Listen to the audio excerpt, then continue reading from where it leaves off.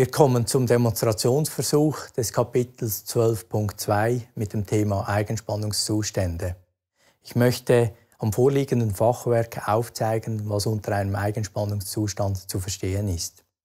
Das Fachwerk ist in der vorliegenden Konfiguration sowohl äußerlich als auch innerlich statisch bestimmt. Das heißt, ich kann diesem Fachwerk momentan keinen Eigenspannungszustand einprägen.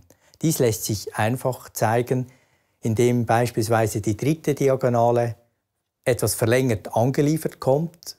Das heißt, es wird nur die Geometrie verändert, aber es herrschen keine Kräfte vor oder ich kann eben, wie gesagt, keinen Zwängungszustand diesem Fachwerk einprägen.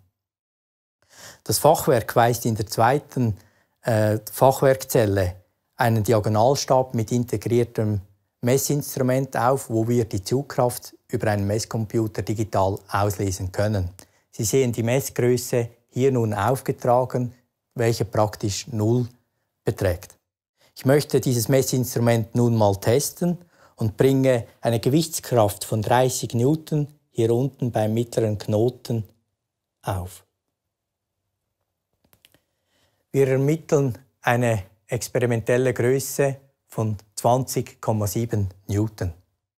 Ich entlaste das Fachwerk nun wieder und möchte nun aufzeigen, was eben ein Eigenspannungszustand ist. Wenn ich eine zusätzliche Diagonale hier bei der zweiten Fachwerkzelle einbaue, wird diese Fachwerkzelle statisch unbestimmt. Das Fachwerk im Gesamten ist äußerlich nach wie vor statisch bestimmt. Ist nun diese zweite Diagonale passgenau gefertigt, Sie sehen das in der Detailaufnahme, kann ich diese Diagonale ohne Probleme montieren und es äh, herrscht kein Eigenspannungszustand vor. Sie sehen das an der Anzeige äh, von der Messgröße. Nun, der Regelfall in der Baupraxis ist so, dass sie der Produktion von Fertigteilen einen Toleranzbereich zubilligen müssen. Das heißt beispielsweise, dass diese Diagonale verkürzt angeliefert kommt. Ich simuliere das hier so.